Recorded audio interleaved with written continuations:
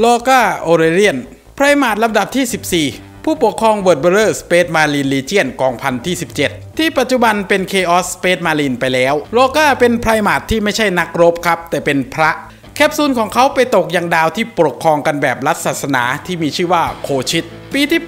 857 ในสหัสวรรษที่ 30 จักรพรรดิก็ได้มารับตัวเขาแล้วก็มอบตำแหน่ง Primarch ให้ เพื่อรวบรวมดินแดนมนุษย์ ให้เป็นปึกแผ่นภายใต้แผนการ Great Crusade แต่โลก้าแม้จะถอดจีวรพระและสวมชุดเกราะนักรบ แต่ภายในก็ยังคงฝักใฝ่ศาสนา แล้วก็ยังเดินตามความเชื่อของตัวเองอยู่ดีครับโลก้าเข้ายึดดินแดนต่างๆ ภายใต้แนวคิดขยายอาณาเขตมอบให้แก่พระผู้เป็นเจ้า และพระเจ้าที่ว่าก็คือจักรพรรดิโลก้าเชื่อว่าจักรพรรดิคือพระเจ้า และวิธีการที่เขายึดครองดินแดน ก็คือไปเทศนาชักชวนผู้คนให้ศรัทธาเลื่อมใส ภายใต้ความเชื่อเดียวกัน และในคลิปนี้คนรักแมวจะมาเล่าถึง Primarch Lorgar Aurelian ขุนศึกโล้นปาราชิกแห่งจักรวาลวอร์แฮมเมอร์ 40K ให้ฟังครับ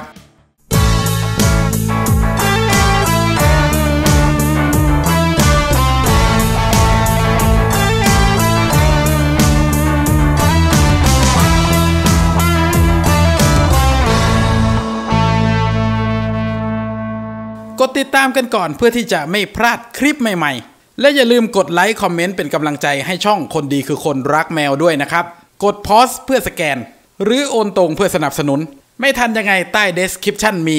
ขอบคุณทุกท่านที่ให้การสนับสนุนคนดีคือคนรักแมวนะครับ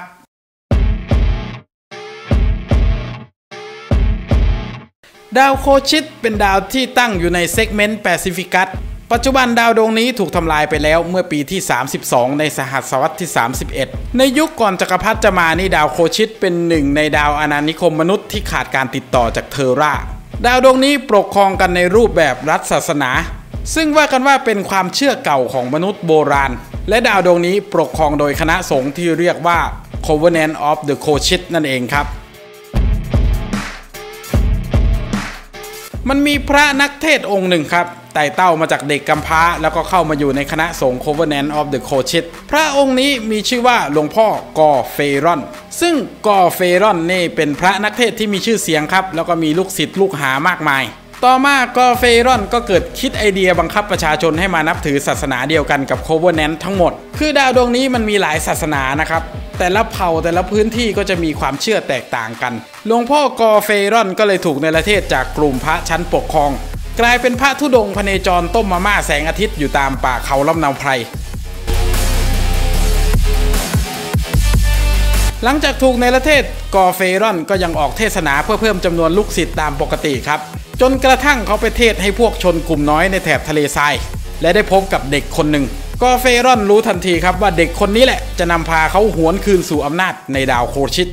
กอเฟรอนนี่หน้าฉากคือพระจาก Covenant แต่จริง ๆ แล้วเขานับถือลัทธิเล็กๆ ที่ชื่อว่า Dark Heart ครับ และต้องการจะใช้โลกาเพื่อพัฒนา Dark Heart ให้เจริญขึ้นกว่าที่เป็นในปัจจุบัน และไอ้ Dark Heart อันนี้มันก็คือลัทธินับถือเทพ Chaos นั่นแหละครับกอเฟรอนรับโลกามาเป็นลูกบุญธรรม และสังหารพวกชนเผ่าทะเลทรายที่เพิ่งเทศให้ฟังเมื่อกี้จนตายห่านยกเซต เพื่อเก็บความมหัศจรรย์ของลอก้าเอาไว้เป็นความลับ ลอก้านี่จากทารกเป็นวัยรุ่นนี่ใช้เวลาไม่กี่วันเลยนะครับ ถ้าคนอื่นรู้เข้านี่อาจจะไม่เป็นการดีต่อแผนการของกอเฟรอน กอเฟรอนสอนหลักการของ Covenant ให้ลอก้ากะจะใช้พระหนุ่มรูปหล่อในการหาสาวกเพิ่มนั่นแหละครับ ซึ่งการฝึกฝนของกอเฟรอนก็คือการทรมานร่างกายครับ ลอก้าก็ศึกษาเต็มที่ทั้ง Covenant แล้วก็ศาสนาอื่นทั้งหมดบนดาวโคชิต จนได้ข้อสรุปว่าพระเจ้าในแต่ละความเชื่อมันมีจุดเชื่อมโยงกัน พระเจ้าจริง ๆ ที่พากันนับถือและพูดไปต่างๆ นานาเนี่ยน่าจะมีแค่องค์เดียวนี่แหละ เมื่อกอเฟรอนได้ยินก็ถึงกับอุทานว่าปราชิก มึงพูดเฮียอะไรลอก้า พวกกูนับถือพระหุเทวะมาตั้งแต่บรรพบุรุษ พระเจ้าองค์เดียวเฮียอะไรของมึง อาบัตนอกรีดแต่ลอก้าก็ยืนยันครับ แล้วก็เริ่มเทศหลักความเชื่อแบบเอกเทวนิยมแบบใหม่ ภายใต้ชื่อว่ากอสบอน โลก้าออกเทศนาถึงพระเจ้าองค์เดียวจนมีลูกศิษย์ลูกหามากมาย ในขณะเดียวกันกอเฟรอนก็พยายามปรับทัศนคติลอก้าครับ ว่าเอกเทวนิยมมันขะลำมันผิดผี ซึ่งคณะสงฆ์ของหลวงพ่อกอเฟรอนกับหลวงพี่ลอก้าเนี่ยจะมีลักษณะเป็นคาราวานครับ ไปเทศหมู่บ้านนั้นหมู่บ้านนี้แรก ๆ ก็เดินธุดงค์กันแค่ 2 หัวโล้น หลังๆ พอมีคนศรัทธาเยอะก็เดินกันเป็นกลุ่มเหมือนตอน Forrest Gump วิ่งนั่นแหละครับ พอคนเยอะๆ มันก็หลีกเลี่ยงไม่ได้ที่จะเกิดการสมคบคิดและก่อกบฏลอก้าช่วยชีวิตกอเฟรอนจากพวกที่พยายามจะสังหารเขากอเฟรอนก็เลยยอมรับลอก้า แล้วก็ประกาศว่าลอก้าคือผู้ถือวจนะของศาสนาใหม่ แล้วก็เปลี่ยนฐานะจากพระอาจารย์ผู้สอนเป็นผู้ติดตามลอก้าในฐานะลูกศิษย์ในที่สุด และศาสนาเอกเทวนิยมของลอก้าก็มีผู้ติดตามจำนวนมากขึ้นมากขึ้น และแน่นอนครับเมืองหลวงที่ควบคุมโดยศาสนาเก่าไม่มีทางยอม แต่ไม่รู้จะทำยังไง ลอก้าตั้งแต่จำความได้เขาเห็นนิมิตหนึ่งครับ เป็นนิมิตที่เลือนลาง จนกระทั่งมาชัดเจนเอาตอนหลัง ซึ่งนิมิตที่ลอก้าเห็นก็คือบุรุษในชุดสีทองกับผู้ติดตามในชุดสีฟ้า เขาจึงได้ทำนายให้แก่ลูกศิษย์ลูกหาฟังว่า พระเจ้าองค์เดียวที่อาตมาเทศถึงบ่อยๆกำลังจะมาที่โคชิตแล้วในไม่ช้านี้ พวกคณะสงฆ์ Covenant ก็เลยได้โอกาสตัดสินครับว่าหลวงพี่ลอก้าแห่งคาราวานพระที่ถูกเนรเทศกอเฟรอน แม่งปาราชิก นอกรีตเพ้อเจ้อกุเรื่องต้องกำจัด เกิดเป็นสงครามกลางเมืองระหว่างความเชื่อเก่าของคณะสงฆ์ปกครองกับ Godsworn ของหลวงพี่ลอก้า สุดท้ายฝั่งลอก้าชนะครับ และองค์จักรพรรดิก็มารับตัวลอก้า ซึ่งมากับ Magnus the Red ครับ ชัดเลยมหาบุรุษชุดสีทองกับผู้ติดตามชุดสีฟ้า จักรพรรดิได้มอบ Space Marine Legion Imperial Heralds ให้ลอก้าปกครองลอก้าขอให้รับกอเฟรอนเข้ารับการดัดแปลงเป็น Space Marineและมอบตำแหน่งกัปตันให้เขา ท่ามกลางเสียงติฉินนินทาว่ากอเฟรอนแม่งเด็กเส้นนี่หว่า มีที่ไหนดัดแปลงเป็น Astartes ตอนแก่ แถมได้ขึ้นเป็นหัวหน้าทันที นี่แม่งระบบอุปถัมภ์ชัดๆเดิมที่ Space Marine Legion Imperial Heralds เนี่ยมีเป้าหมายคือการยึดดินแดนในนามองค์จักรพรรดิเพื่อกำจัดความเชื่อเก่า อย่างพวกเทพเจ้าอิทธิฤทธิ์ปาฏิหาริย์ที่งมงายให้หมดไปครับ ไปที่ไหนก็จะเน้นทำลายโบสถ์ทำลายวิหาร ทุบศาลเพียงตานี่เรื่องปกติเลย ซึ่งขัดกับเจตจำนงของลอก้าชัดเจน แล้วลอก้าก็ค่อยๆ เปลี่ยน Legion นี้ให้กลายเป็นแบบที่เขาต้องการทีละน้อย ค่อยๆ หว่านล้อมด้วยทักษะการเทศนาของเขา แต่งตั้งตำแหน่ง Chaplain ที่ไม่เคยมีมาก่อนขึ้นมา เพื่อปลุกขวัญกำลังใจในขณะเดียวกัน ก็หว่านล้อมเมล็ดพันธุ์แห่งความคิดของเขาให้เติบโตในเหล่า Space Marine ใต้การปกครอง และ Chaplain คนแรกของจักรวรรดิมนุษย์ก็คือเอเรบัสคนบ้านเดียวกันกับลอกานั่นเองครับ ด้วยความที่ Great Crusade เป็นช่วงที่มีการสู้รบตลอด Space Marine ก็ตายเยอะ ซึ่งคนใหม่ๆ ที่เข้ามาโลกาก็เน้นรับมาจากดาวโคชิตซะส่วนใหญ่สุดท้ายโลกาก็กลืน Space Marine Legion Imperial Heralds จนไม่เหลือเค้าเดิม และได้เปลี่ยนชื่อ Legion เป็น w o r d b e a r e r ในที่สุด พอเปลี่ยนทั้งแนวคิดแล้วก็ชื่อ Legion ไปแล้ว w o r d b e a r e r Space Marine ที่นำโดย Primarch โลกาก็ทำสงครามรวบรวมดินแดน สไตล์เผยแพร่ศาสนาครับ ไปเทศนาบ้างเทศไม่ได้ก็บุกยึด และใช้ความเชื่อเข้าปกครองคนบนดาวอาณานิคมต่างๆ ภายใต้คัมภีร์ Lectitio Divinitatus ที่เขาเขียนขึ้น ซึ่งไอ้คัมภีร์นี้มันมีเนื้อหาบูชาจักรพรรดิเป็นพระเจ้าครับ แต่ด้วยความที่การขยายดินแดนของโลกามันมีพิธีเยอะแล้วก็ล่าช้า จักรพรรดิเลยเข้ามาเช็คและพบว่าเกรนคูเซตของตัวเองจากเดิมส่วนหนึ่ง ก็เพื่อปลดปล่อยประชาชนให้ตื่นรู้จากศาสนาและความงมงาย แต่ดาวที่โลกาไปยึดเสือกมีวิหารแถมบูชาจักรพรรดิเป็นพระเจ้าซะงั้น โดยเฉพาะดาวคู ดาวคูหลังจากอยู่ใต้การปกครองของ Imperium of Man ด้วยฝีมือลอกาในปีที่ 903 ของสหัสวรรษที่ 30 ดาวคูก็ถูกพัฒนาเป็นดาวประเภท Civilize World ครับ Civilize World อันนี้นี่คือดาวประเภทกำลังพัฒนา มีโรงงานมีเทคโนโลยีสามารถพึ่งพาตัวเองได้ไม่ขาดแคลนอาหาร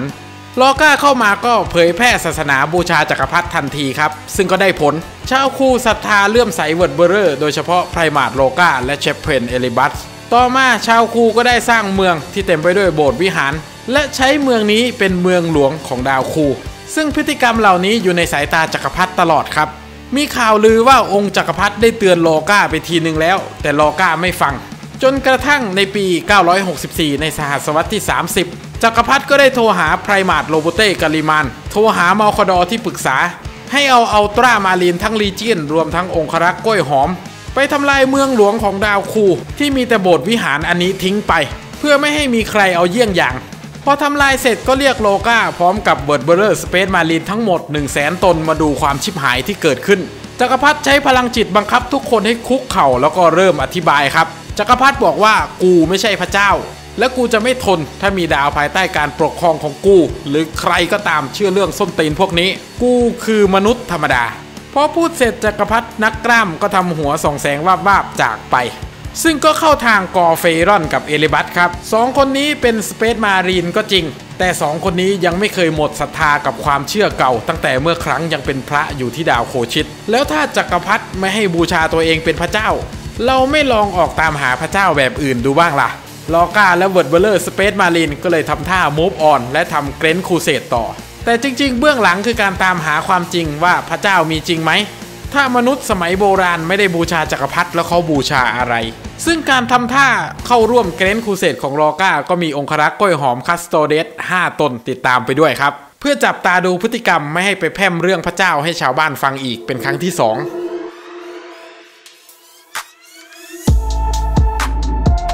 ต่อมาลอก้าก็ได้รับรายงานจากกองยานสำรวจ 1301 ว่าพื้นที่ที่มี Warp Storm ขนาดใหญ่แห่งหนึ่ง มันมีเสียงประหลาดแว่วมา และใกล้กันนั้นก็มีดาวอาณานิคมมนุษย์ที่ยังไม่ได้ยึดอยู่ดวงหนึ่งดาวดวงนี้ถูกเรียกว่าดาว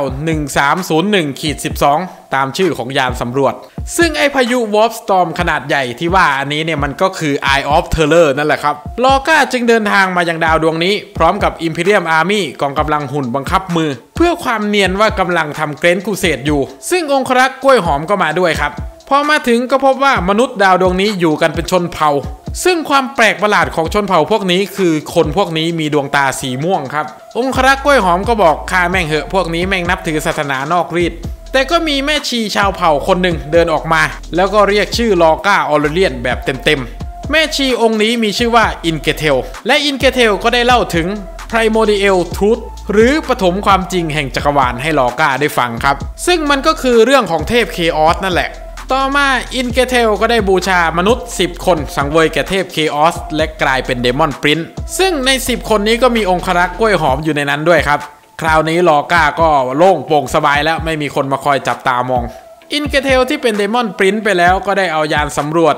1301 พร้อมกับ Word Bearers Space Marine กองหนึ่งมุ่งหน้าเข้าไปใน Eye of Terror รอบแรกลอก้ายังไม่ได้ไปด้วยนะครับ กองยานสำรวจเข้าไปไม่นานก็กลับมารายงานโลกาว่าข้างใน Eye of Terror มันคือสถานที่ที่มนุษย์กับพระเจ้าสามารถคุยกันได้ แต่ผลข้างเคียงจากการเข้าไปใน Eye of Terror ก็ส่งผลให้ Space Marine พวกนี้กลายเป็นครึ่งคนครึ่งเดมอนไป เมื่อลอก้าได้ข้อมูลที่ต้องการแล้วก็เริ่มแสดงสันดานพ่อเลี้ยงออกมาครับ เพื่อเก็บความรู้และความมหัศจรรย์ของปฐมความจริงแห่งจักรวาลให้อยู่กับเขาแต่เพียงผู้เดียวลอก้าสั่งทำลายวิหารและสั่งฆ่าคนบนดาว 1301ขีด12 ที่มีความรู้เรื่อง Primordial Truth ทั้งหมดตายห่านทั้งดาว และเดินทางเข้าไปใน Eye of Terror ด้วยตัวเองพร้อมกับ i n g e t e l ซึ่งไอ้ดาว 1301ขีด12 ที่โดนลอก้า set zero ไปเมื่อกี้ ภายหลังก็ถูกจักรวรรดิมนุษย์ Imperium of Man ยึดเป็นหนึ่งในดาวอาณานิคม และตั้งชื่อดาวดวงนี้ว่าเคเดียนั่นเองครับ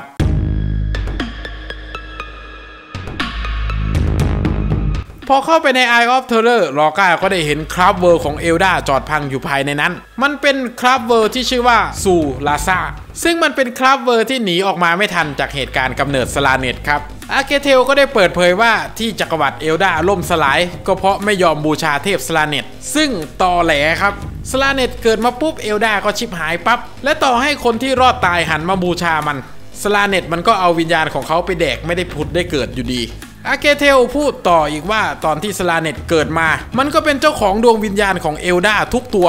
และเมื่อใดที่เอลพวกนี้ตาย ก็จะถูกสลาเนชพิพากษา ซึ่งมันก็ตรงกับความเชื่อโลกหลังความตายในศาสนาเก่าของโคชิสครับ ว่าพอมนุษย์ตายก็จะถูกพระเจ้าพิพากษา ในขณะที่เดินสำรวจไปเรื่อยๆ ลอก้าก็ได้ไปเจอกับอวตารของเคนเทพแห่งสงครามของ Eldar และก็ได้ต่อสู้กัน ซึ่งผลก็คือลอก้าชนะครับ อินเกเทลพาลอก้าไปยังอนาคตที่เป็นเหตุการณ์ Horus Heresy ลอก้าเห็น Imperial Fists Space Marine ของโรกัลดอร์นกำลังตีกับกองกำลัง Space Marine เกราะสีแดง Space Marine สีแดงนี่ลอก้าไม่เคยเห็นครับ แต่พอมองดีๆ มันก็คือ Word Bearers ของเขานั่นแหละ ที่แบบตัวใหญ่กว่าเดิม และสีแดงบนร่างมันคือเลือดที่อาบอยู่บนชุด แถมขุนศึก Word Bearers คนสำคัญอย่างอาเจนตาก็แปลงร่างเป็นปีศาจได้อีกต่างหาก อินเกเทลเปิดเผยว่าชะตาของลอก้าถูกขีดเอาไว้แล้วด้วยประสงค์ของพระเจ้า และการที่เขามาที่นี่ก็เป็นหนึ่งในชะตากรรมของเขา ลอก้าเลยถามว่าทำไมไม่เลือกนักปกครองอย่างฮอรัสกับโรบูเต้กันลีมานทำไมไม่เลือกนักสู้แบบแซงคิวเนียสหรือโรกัลดอร์นทำไมไม่เลือกจอมเวทอย่างแม็กนัสเลือก Primarch ที่กากสัตว์หมาที่สุดอย่างเขาทำไม อินเกเทลตอบมึงไม่รู้อะไรซะแล้ว Magnus the Red ติดต่อกับเทพ Chaos ก่อนที่มึงจะมาที่นี่ซะอีก มาแบบไม่ได้มีศรัทธาส้นตีนอะไรด้วย แมกนัสแสวงหาพลังจนมาเจอเทพ Chaos ด้วยตัวเอง และเพื่อตอกย้ำว่าไอ้ที่พูดมันเป็นเรื่องจริง อินเกเทลพาลอก้าข้ามเวลาไปอนาคตอีก 40 ปีข้างหน้า และพบว่าเมืองทิสกาที่เดิมอยู่บนดาวพรอสเพโร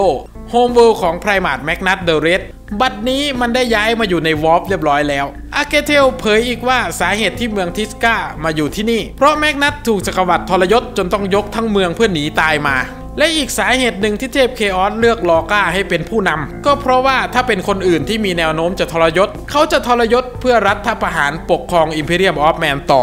ซึ่งลอก้าและ Word Bearers ไม่ใช่ คือถ้า Imperium of Man ยังอยู่ต่อไป ต่อให้เปลี่ยนผู้นำเป็นฮอรัส ความชิบหายที่รอวันเกิดแบบเดียวกันกับจักรวรรดิ Eldar จะไม่สามารถหลีกเลี่ยงได้ จักรวรรดิ Imperium of Man มันเป็นเหมือนมะเร็งร้ายต้องทำลายสถานเดียว และลอก้าไม่เคยต้องการจะปกครองมัน ลอก้ามีเจตจำนงที่จะค้นหาความจริง เพื่อมนุษยชาติเท่านั้น เทพ Chaos จึงเลือกลอก้านั่นเอง